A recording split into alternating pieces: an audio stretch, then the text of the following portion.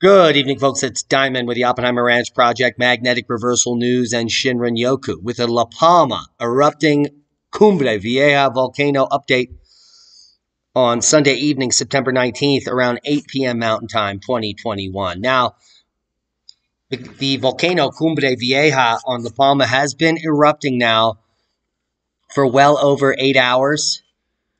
Hours of power. As you can see, the uh, this is about two hours ago some of the lava spread. And we have live coverage for you as well with full analysis of the eruption and predictions moving forward. Now, the La Palma volcano eruption update begins with lava flows cutting roads, threatening inhabited areas, and evacuations being ordered. Now, according to Volcano Discovery, and more details emerging from multiple media covering the eruption in great detail, at 4:33 p.m. today, a second fissure opened 100 meters above the first one that opened at 3:15 p.m. The Civil Guard announced 5,000 to 10,000 people will be evacuated, many of them tourists. And we'll get to that. And a few homes are now being destroyed as I speak. Now, a volcano on Spain's Atlantic Ocean island of La Palma erupted Sunday after a week long buildup of seismic activity prompting authorities to evacuate thousands as lava flow destroyed isolated homes and threatened to reach the coast. The lava has reached the coast by now. New eruptions are continuing into the night, and there is an increase in activity and pressure on the main vent. The Canary Islands Volcanology Institute reported the eruption on Cumbre Vieja, which last erupted in 1971. Huge plumes of black and white smoke shot out from a point of the volcanic ridge, which scientists had been closely watching following the accumulated molten lava below the surface and days of small earthquakes. Authorities immediately evacuated more than 1,000 people, but Spain's civil guard said it may need to evacuate up to 10,000 total. Now, the population on La Palma is about 85,000, is one of eight islands in Spain's Canary Islands archipelago, and a 4.2 magnitude, which was downgraded, was kicked off the event which took place in an area known as Cabeza de Vaca on the western slope of a ridge that descends to the coast. Now, tinges of red could be seen at the bottom of black jets that shot into the air that we reported on early this morning uh, when the event occurred. Now, shortly after the initial explosion rocked the area, one black lava flow with a burning tip immediately slid towards the villages of El Paso. And the mayor, Sergio Rodriguez, said 300 people were in immediate danger and were evacuated. Roads were closed and authorities were urged the curious not to approach the area. Lava eventually reached homes, causing at least one chalet tower to crumble. Authorities warned that the lava flows could also threaten the munis- municipalities of El Paraiso, El Cala, and surrounding areas. Charlotte Martin was at an agricultural plot her family has at Todoque, just downhill from the eruption site, when she heard a huge explosion. When we saw the column of smoke, we thought it could not be real, but it kept growing, and we knew we had to get out of there. She told the some some something or other. you should not keep, come near the eruption site where the lava is flowing, said the authorities. Now, of course, you shouldn't. Now, quickly, let's uh, look at the earthquake periodicity today in the last 24 hours, and there have been quite a few. And the earthquakes are trending up into higher magnitude as opposed to lower magnitude, where we have 85 quakes happening between 2 and 3 magnitude in the last 24 hours, 5 quakes above 3 magnitude, and 81 quakes from 2 magnitude and less.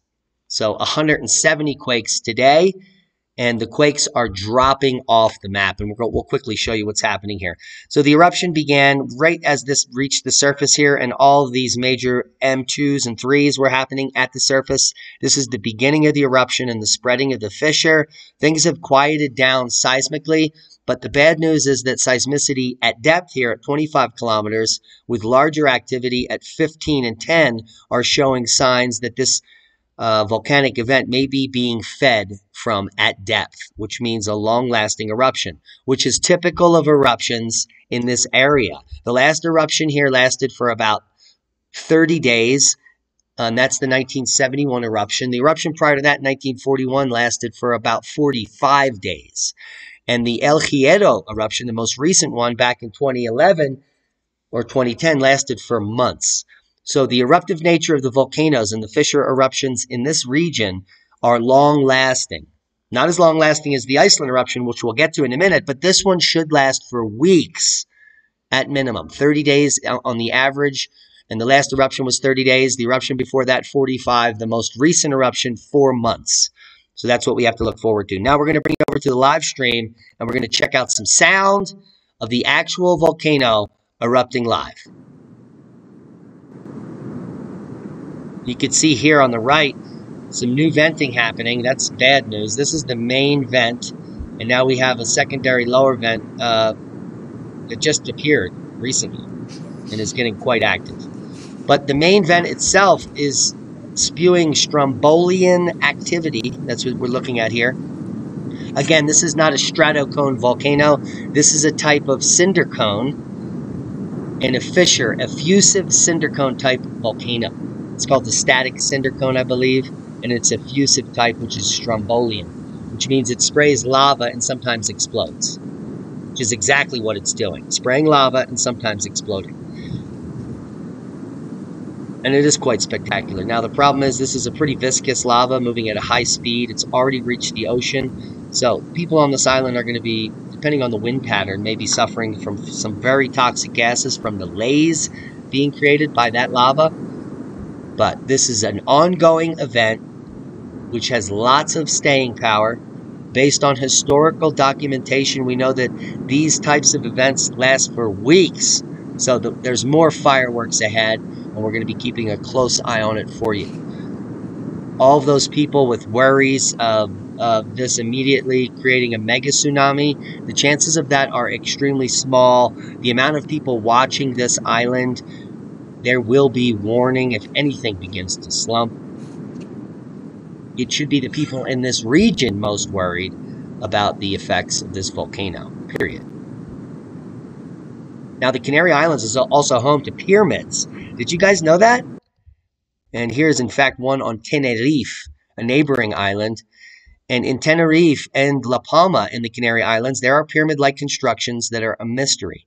No one has proved satisfactorily when they were built or by who, and an ongoing debate has been going on for many years with several theories, theories put forward. Now, the Guanches, now these are Eastern European mummies, or potentially the Guanches are potentially the people who built these pyramids, and they are the there are mummies on the uh, in the Canary Islands of these people that had red hair, and they're potentially Cro-Magnon.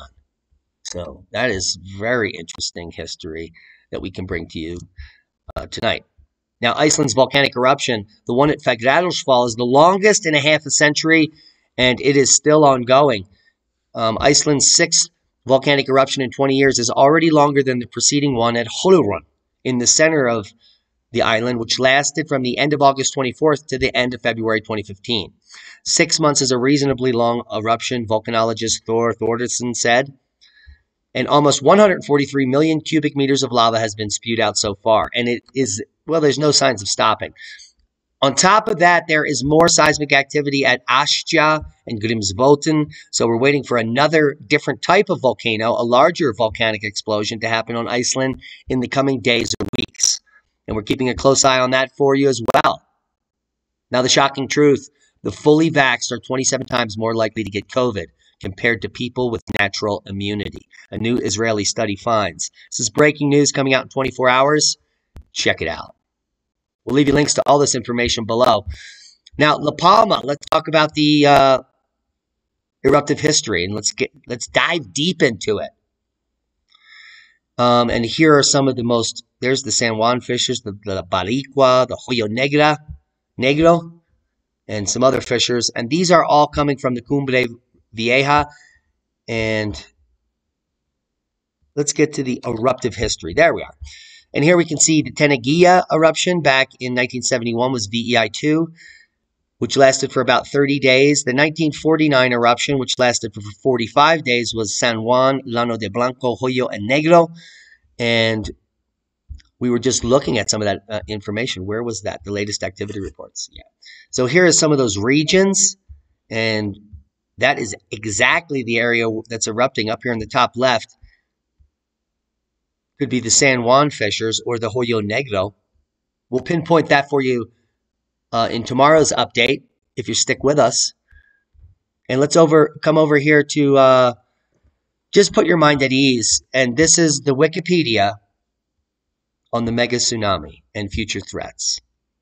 So if you want to put your mind at ease, you can come read this section. And it all has to do with the criticism. There is controversy, however, about the threat present, presented by the Cumbre Vieja. Current indications are that recent landslides may have been gradual and therefore may not have generated tsunamis unless they increased in magnitude. Studies of possible local mega tsunamis in Hawaiian Islands draw distinctions between the tsunami wave periods caused by landslides and subduction zone earthquakes, arguing that similar collapses in Hawaii would not endanger Asians or North American coastlines. Now, according to many other people here and studies, um, a 2008 paper, for instance, looked into the very worst case scenario, the most massive slide that could happen though unlikely and probably impossible right now with the present day geology, they find that wave heights in the range of just 10 to 188 meters if the Canary Islands in the Canary Islands themselves. But the waves interfere and dissipate as they head out into the Atlantic. So there's no threat to the eastern seaboard of the Atlantic. And they also predict heights of 40 meters in some nearby island systems. But for continents, the worst effects of northern Brazil would be a 45 foot wave and, and much smaller. And that's based on the worst case scenario, which, according to many scientists, especially those in the Netherlands, um, that the western flank of the Cumbre Vieja was conjecture as potentially failing and falling into the Atlantic Ocean to create a hypothesis, La Palma mega tsunami, which is both too small in mass and volume and too far stable to break away in the next 10,000 years. So there's a lot of data suggesting that it's impossible for any of this to occur. So you do your own homework. And that's all we're going to say tonight. And that's a boom to real knowledge, diving deep and getting all the viewpoints and bringing them to you in one place, in one concise manner for you to absorb gradually. You can even replay the video. Proper prior planning prevents piss poor performance in a dystopian world where the media, well, they're powder puffs and cheerleaders, and they barely report on anything. We do the hard work here for you so you don't have to do it. Subscribe to the channel if you haven't. Share this with like minded people. Be safe. We love you. we've got an eye on La Cumbre Vieja.